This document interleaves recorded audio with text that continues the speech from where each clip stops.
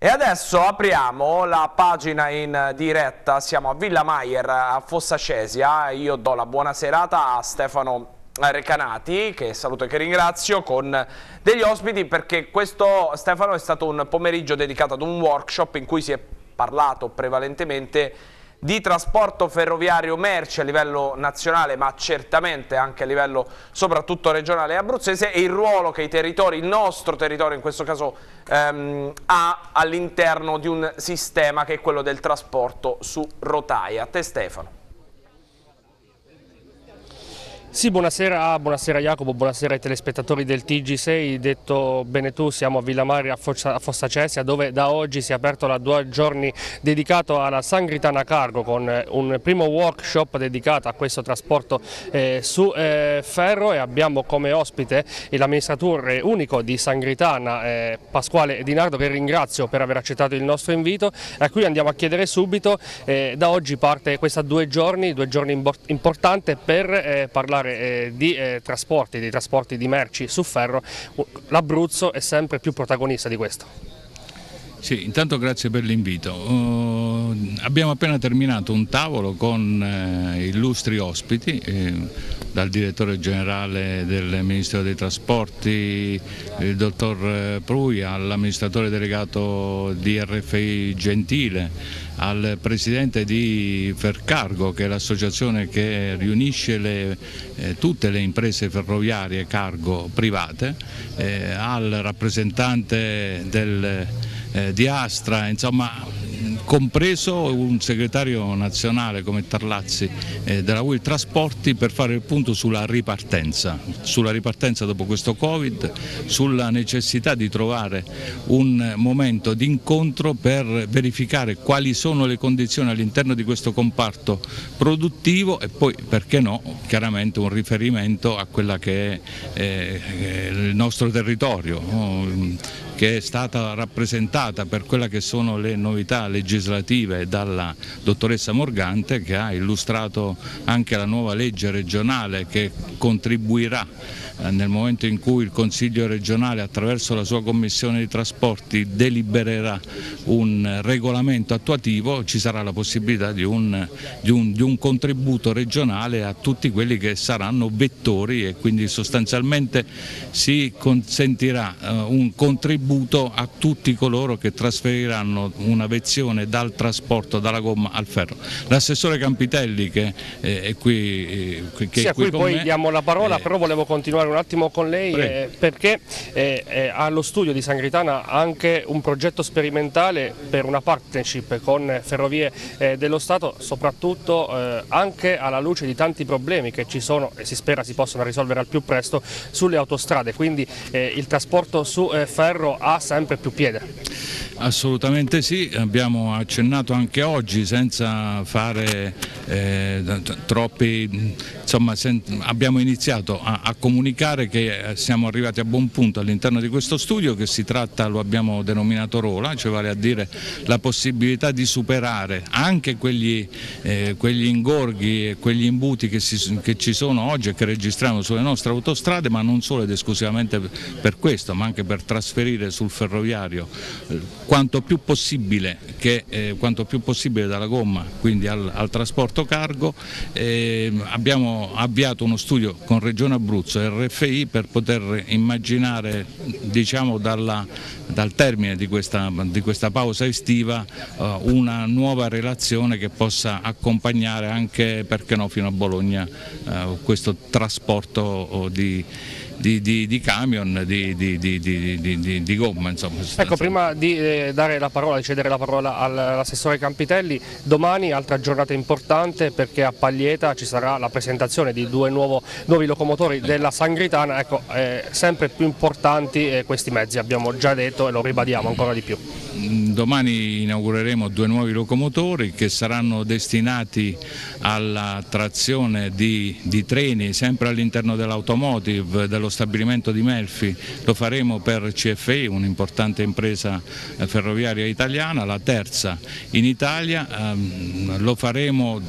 andranno a, i due locomotori a completare la nostra flotta ehm, di, di, di, locomotori eh, che saliranno a 6 e questo insomma, è motivo per noi di orgoglio, il investire vuol dire anche su questo territorio immaginare anche nuove e possibili opportunità di occupazione. Grazie allora all'amministratore unico di Sangritana Pasquale Di Nardo e Nicola Campitelli, assessore della regione Abruzzo, lei che è del territorio, ecco eh, il territorio del, eh, qui di Fossa Cesia, eh, del, del, di Lanciano e del, del circondario che eh, diventa sempre più importante eh, per quanto riguarda abbiamo detto eh, i mezzi di trasporto soprattutto su ferro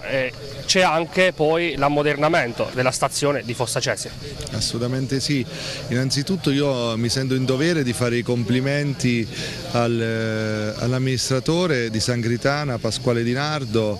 al presidente di Tua Gianfranco Giuliante eh, che insieme con un'ottima strategia e sinergia hanno fatto sì che oggi questo territorio riacquisti un ruolo baricentrico rispetto a un territorio diciamo quasi nazionale. Eh, questa sera ci sono i player più importanti a livello nazionale del trasporto su ferro. Noi come Regione Abruzzo ehm, qualche, qualche settimana fa abbiamo approvato un piano delle infrastrutture strategiche e credo che lo sviluppo di una regione passi soprattutto in base allo sviluppo delle infrastrutture. Eh, noi ci crediamo, lo stiamo dimostrando, eh, anche perché abbiamo il dovere eh, di in qualche modo ridurre quel gap che c'è tra la regione Abruzzo e le altre regioni del nord a livello infrastrutturale, perché oggi tantissime aziende che stanno qui in questo territorio, nella nostra regione,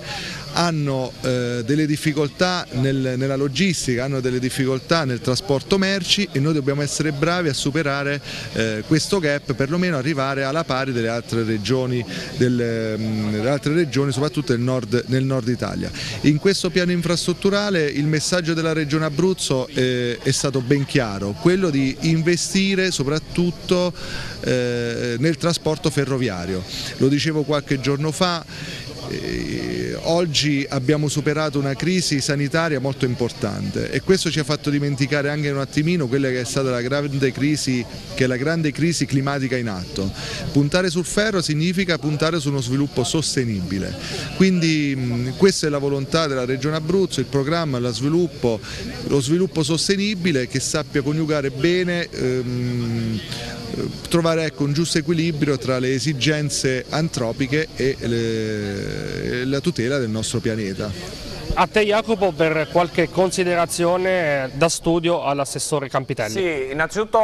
do la buona serata all'assessore Campitelli eh, che giustamente parlava di investimento da parte della Regione Abruzzo nel trasporto ferroviario, però assessore chiaramente questo è un discorso che non riguarda solo eh, la regione investe anche molto altro, eh, è inevitabile, saltando adesso dal trasporto su ferro al trasporto su gomma, che e non è la prima volta in questi ultimi mesi, l'Abruzzo si trova praticamente in una specie di imbuto autostradale che poi si cerca di compensare ed è giusto che sia così magari dal punto di vista del ferro, però per la gomma ci sono, ci sono ancora molti, molti problemi. L'assessore regionale che ne pensa? Non ho sentito tutto perché comunque c'è anche un po' di, di rumore sottofondo. Questi problemi Però... che, che, ci sono ancora per quanto riguarda il trasporto su gomma? Eh, il trasporto su gomma diciamo, abbiamo eh, diverse problematiche, eh, è chiaro che abbiamo una situazione lungo la, la, 14 che è quasi imbarazzante, il Presidente Marsiglio in più occasioni diciamo, ha sollecitato anche il, eh, il Ministro, eh, l'attuale governo, speriamo di eh, risolvere al più presto questa eh, questa problematica. È chiaro che noi eh, paghiamo, come detto prima, a livello infrastrutturale un gap importante, sia a livello ferroviario, quindi su, su ferro, ma anche su gomma. Eh, dobbiamo assolutamente rafforzare eh, la dorsale adriatica, ma eh, non solo con, con, la gomma, ma anche con l'alta velocità, che purtroppo oggi non arriva, eh, non passa qui in Abruzzo. Il lavoro, il lavoro da fare ce n'è tanto, c'è tanto lavoro.